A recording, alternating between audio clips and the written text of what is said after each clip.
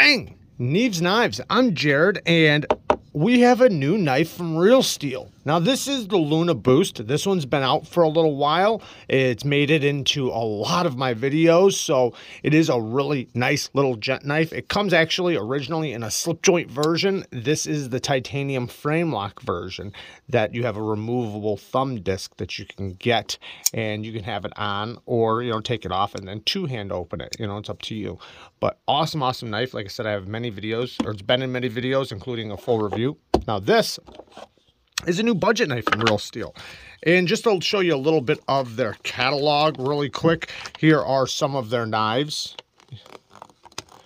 And I really haven't tried, uh, there's a lot of these I have not tried and I'd really love to get my hands on them. Um, I've tried a few, like right now I do have this guy right here.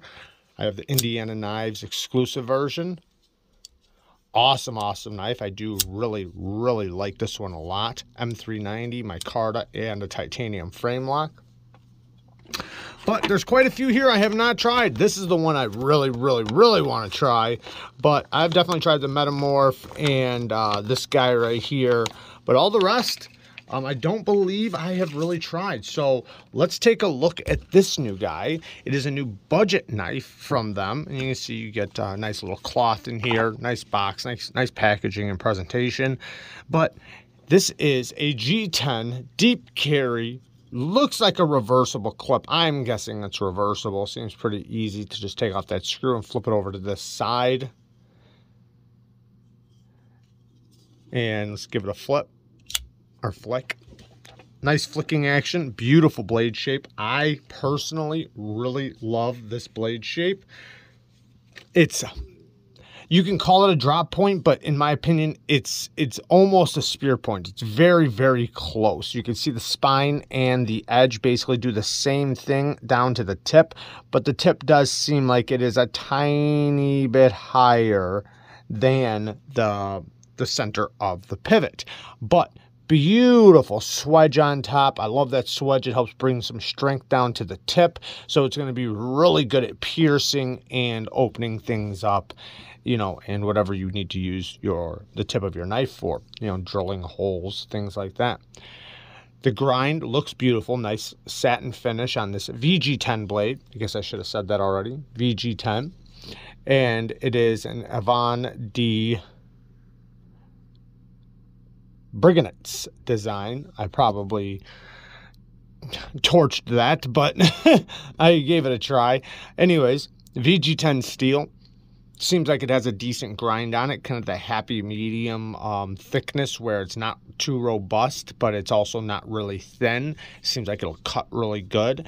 And the ergos on this are really, really nice in the hand. It has a very nice neutral grip to it. Well done G10, nice and grippy, but just the shape of it, the thickness, you know, how broad it is, it fits the hand very, very well. Now, one thing I'm really impressed with is this jimping. I think this jimping is very well done. This is the kind of jimping I like to see on knives because it actually works. It's very effective jimping. While not being painful, it just offers the exact amount of traction you want. And it's extremely effective sharpening choil, uh, I wish they would have brought the plunge grind back a little bit, but it's not horrifying, but it definitely could be a little bit better. But not a big deal. You you can get a couple good sharpenings on it before you'll hit the, the plunge grind.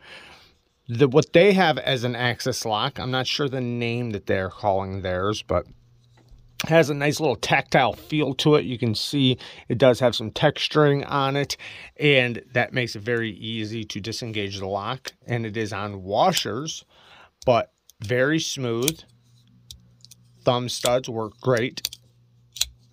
And the thumb studs are small, but they look like they're removable. So you could possibly add bigger thumb studs if you really wanted to, but these are very effective and you know you have this nice little placement to get your finger all the way all the way down to the thumb stud and pop it out. So it does work pretty good. Now you see we do have this fuller there. Now the fuller does work. It didn't like right at first I couldn't get it. Like I was just doing, you know, basically just popping it out. But the more I've sat here and messed with it, um, the better I can. I do have to give it a little pop of the wrist, but it's pretty easy with a little pop of the wrist if I'm not fumbling it. But I can do it reliably with the flick of the wrist. So it's not the best fuller in the world and Axis locks don't offer you a good detent, you know, it's kind of spongy. So the thumb studs are going to be the way to go. But with the thumb studs, you can reverse flick it and it works very, very well. So thumb studs are the way to go and the fuller's just kind of there for show, but it does look good. It adds a little something to the blade and it is attractive. On the inside, we do have heavy milling, lots of milling, so it does bring down the weight. And the it's very compact. So it seems like it will be a great carry. This does look like a very, very uh, nice clip. It seems like a clip that'll slip in and out of the pocket really good. I'm not sure about that ramp. That ramp might be a little low, but in what I'm... Eh, yeah, we'll see. You know, we'll see. Seems like it's a very small ramp. I have no problem changing that if I need to. I could just give it a little tiny bend right there. Just bend it up a little bit. But, you know, and that won't be an issue. So we'll see how it works the way it is. And if I have to do any type of change to it, I'll show you what I did. And I'm sure it'll be very, very simple. Something anybody can do right at home.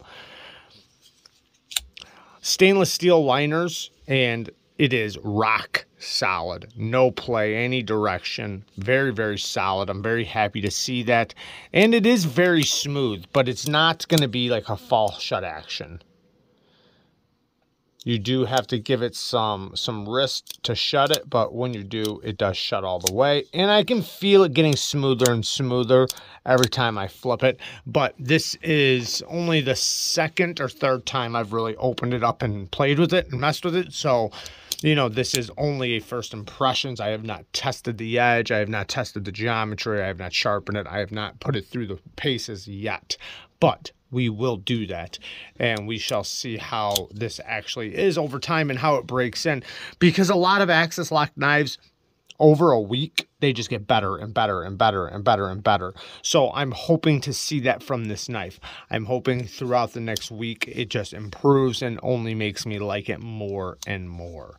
The, the lockup when I, it's a little quiet, but eh, maybe it's not too bad. It does lock right in place without any struggle even when I slow roll it, I like to find out, like, make sure the lock engages even when you're slowly doing it, and it does very nicely. So the lock engagement seems very strong. Seems like it's a solid knife. I like the blade shape quite a bit. VG10 is a decent steel and it's going to have good stain resistance while having pretty decent edge retention. Not too bad. Pretty similar to like AUS 10 if you know AUS 10 pretty well. Um, and 690 steels like that. So that's about edge retention you should uh, expect from it. Now the heat treat is another story but I have no doubt that they didn't do a decent job with it. The edge feels very, very good. It definitely came with it a really, really good edge, to be honest. Like, surprisingly good. So, they did an incredible job with this edge for a factory edge. Very surprised on that one. Um, great job, Real Steel. You did a good job with the factory edge. A lot of factory edges are crap. This one seems like it's pretty good. I can't speak for it how it's going to be burnt or not, but it's definitely very sharp and feels like it's very well done. Um, but yeah, all in all, the one thing though is that it does have this hardware. Now, is that a big deal? Not really. You can just use a flathead screwdriver. I'm not sure if they offer a bit. I'm sure they do. Maybe, maybe not. I'm not positive, but it's just a flathead. That's what I would use. It's just a short, stumpy, small flathead. And I think it would be just fine. But I know a lot of people like to see Torx bits, but in this case we don't have Torx bits, but it's this isn't that big of a deal. You know, when they start getting to ridiculous shapes and, you know, things like that, then, you know, it gets a little bit harder to to handle. But in this case, this is something anybody can handle at home with a flathead, as long as it's a small flathead. Awesome knife though.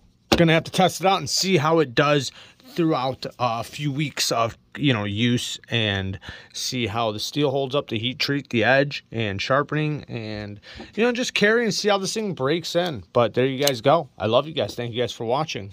Peace